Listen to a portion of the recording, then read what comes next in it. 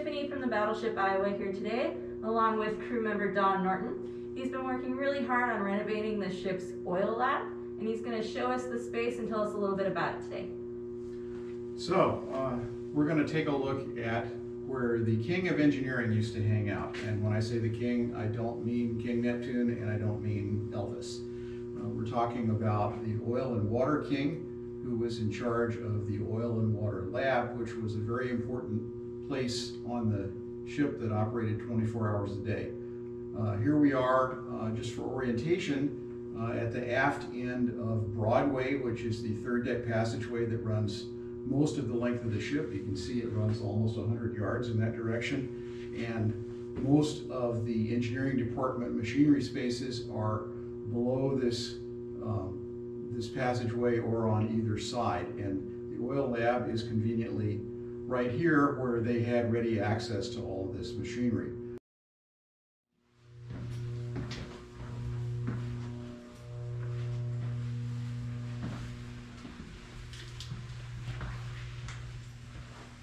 So here we are in the oil and water laboratory. Uh, the ship carried in excess of 2.8 million gallons of liquid if you count all the different kinds of fuel, lubricating oil, hydraulic oil, boiler water, feed water, potable water, etc. So somebody had to keep track of all that liquid and not only just keep track of where it was, but keep track of how much they had and whether it was of sufficient quality or not. And that's what this laboratory is all about. There are pieces of equipment in here, uh, some represented by photos that just show some of the testing gear that was here. We have gear that was used to uh, monitor fuel tanks, a centrifuge, a flashpoint tester for fuel, uh, testers for uh, aviation fuel, uh, and last but not least, the um, cabinet for boiler water and feed water testing, which looks kind of like a mad scientist worked here. And of course, we have the coffee mess, which every work center had to have. So talking first about uh, fuel oil, uh, here are some of the tools that the uh, oil lab staff use to, uh, to keep track of things. Keep track of how much fuel was in various fuel tanks. They use sounding tapes like this, which would go down the sounding tube and you find out how much fuel is in there. You could put water indicating paste on the tape to show if there was water at the bottom of the tank. Uh, another thing you could do was use this gadget called a thief sampler, which has a valve in the bottom.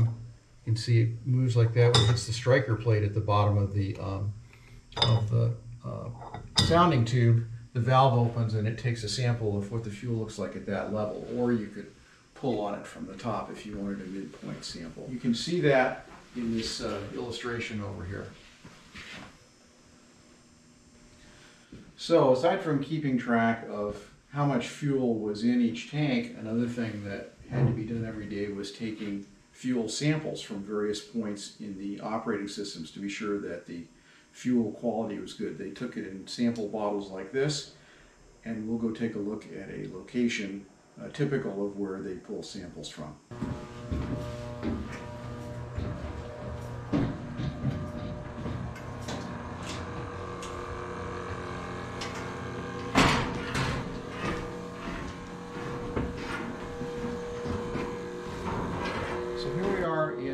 Four fire room. We're in front of one of the propulsion boilers.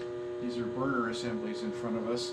And this yellow pipe here is fuel for the boilers. I'll just point out that here's one of the locations. You can see there's a sample connection down here. So here's one of the locations where you could fill up a sample bottle and check the quality of the fuel. So another thing that had to be done every day is the taking of lubricating oil and hydraulic oil samples. Uh, those came from machines all over the ship, and they were taken in bottles like this. Um, and what you had to do was visually inspect the sample, and then there were a few tests that could be run on board. Uh, you're looking to be sure that there's no indication that there's water in the system, there's no indication of uh, particulate contamination, or that something in the machine might be wearing and starting to come apart. Uh, another thing in that regard that was done periodically was they would send off samples in smaller bottles like this one um, to a laboratory ashore, and the shore lab would actually do spectrographic analysis on the lube oil or hydraulic oil. And from that, they could tell if a bearing in the machine was starting to wear, for instance, it's throwing off small particles that end up in the oil, and by the composition of the particles in spectrographic analysis, they can tell that it's a bearing that's failing, and then you would know to change the bearing. So that was done uh, periodically. And now let's go take a look at one of the locations that they would have pulled a lube oil sample from.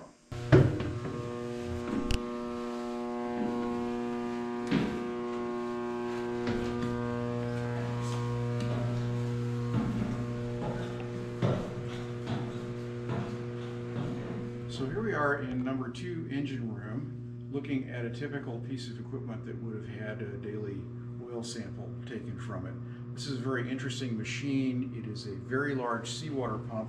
You can see that it even had a name. It was called the Bilge Dragon. And that's kind of logical because we're standing just above the bilge level, which is the lowest accessible level of the engine room. This is a huge seawater pump, and up here you have a steam turbine that drove this seawater pump. And you can see that there's lubricating oil piping here, and right over here is a sample connection, so they would put that small bottle on here and pull off their sample and then have a look at it and see what it looked like. The operating crews in each machinery space were responsible for taking the daily lubricating oil samples, and so they would go around to the various machines like the Bilge Dragon that we just looked at, and they'd get the samples in the bottles like this, they'd inspect them, and then they would put them in a sample rack in their machinery space like that. If they found a sample that looked bad, then they might take it to the oil lab uh, so that the oil king on duty could look at it and they might decide, for instance, to put it in the centrifuge and see if that gives them some additional information about what's going on. Um, and in any case, if they had a lubricating oil purifier that they could line up to that piece of equipment, they would do that. Uh, if they didn't, they might have to uh, stop that piece of equipment and uh, drain the oil, clean out the system, and refill it with clean oil. And this is the largest machine on the ship that would have had a daily lube oil sample taken from it. Uh, one of four like this. This is the uh, number two engine room main reduction gear, which connects the propulsion steam turbines to the shaft. Um, as you can see, it produces 53,000 shaft horsepower, which is a lot of power. But inside this gear casing, uh, it takes a lot of lubricating oil to keep everything working properly. In fact, this whole system carries about 2,000 gallons of oil. So um, this was one that they were very much worried about, making sure that the oil um, was of sufficient quality and quantity. So now let's talk about boiler water and feed water chemistry. Uh, this was the thing that probably occupied most of the Oil King and Oil and Water King staff's time. Um, and we have recreated what their testing setup probably looked like here.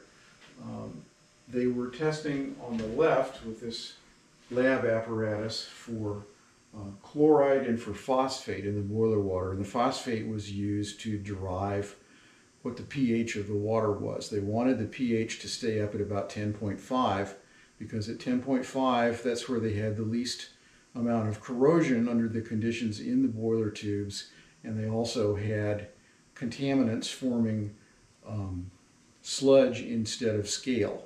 Sludge being something that you can blow over the side, scale being something that attaches to the boiler tubes and causes all kinds of problems. Uh, in the middle we have a, a test cell, a conductivity meter that was used to check water samples from around the plant to see that the conductivity meters that were installed out in the plant in various places were working properly. This is conductivity is used as a uh, as a trigger or a flag for seawater contamination. If the conductivity starts to rise, you're probably getting a seawater leak somewhere, and when seawater gets into the boiler system, that's a very bad thing. Uh, it has to you have to take corrective action immediately. And then on this side, they were testing feed water for uh, feed water for uh, hardness and dissolved oxygen. Uh, hardness uh, meaning the concentration of calcium and magnesium ions. Um, that's what formed uh, sludge or scale, and so you were trying to keep the calcium and magnesium concentrations relatively low. So this was uh, this type of activity was uh, something that could certainly keep them busy 24 hours a day. So here we are back in a fire room. You can see this is a, the boiler front again, and I'll show you one of the places that uh, water samples could be taken for analysis. We step right over here, you can see that there is a what's called a sample cooler here, which actually had chilled water running through it. The very hot boiler water came out, ran through the sample cooler, and came up and could be sampled right here. You put your sample container here, and you had this funnel to catch uh, anything that might go around it. So to sum up, uh, being a part of the Oil and Water King uh, laboratory staff, or the oil royalty as they were called on some ships, uh, was a very important job. Uh, I think you can imagine that uh, if you neglect the quality of fuel or lubricating oil or boiler water and feed water, and contamination gets into a major piece of equipment and causes the equipment to fail, and you're out in the middle of nowhere in the ocean, uh, that can be big trouble. You could um, lose major parts of your propulsion plant, uh, even lose the ability to go through the water altogether, lose the ability to keep the lights on. So um, what these guys did was uh, very important. It required a lot of independent action and judgment. We're glad that we're able to highlight uh, what these uh, folks did here at the Museum of Battleship Iowa. Thank you so much, Don, for giving us a You're tour of your space today. I hope you guys all enjoyed it. Lots of great information here. We're actually going to be doing a at-home STEM activity next week where you'll be able to make your own pH indicator at home. So until next week, have a good one. Bye.